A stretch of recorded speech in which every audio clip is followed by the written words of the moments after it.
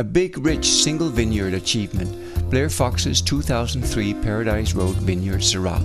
Is the third vintage from this noteworthy vineyard site and showcases the potential the eastern Santa Barbara County is capable of.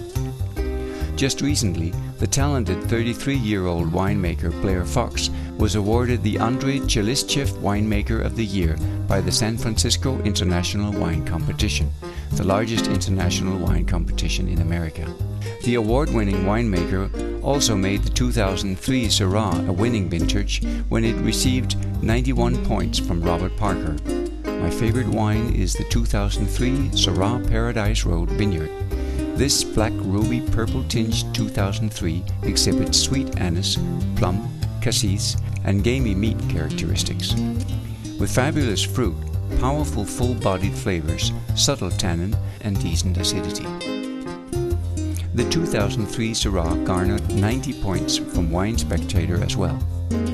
Firm and structured, with subtle band of red cherry, spice, currant, and berry, which fan out nicely on the finish, end with an earthy, spicy aftertaste.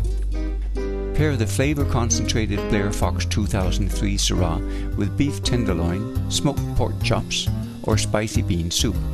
Aged 26 months in oak and 12 months in bottle. 98% Syrah, 2% Petit Syrah. Enjoy now until 2013.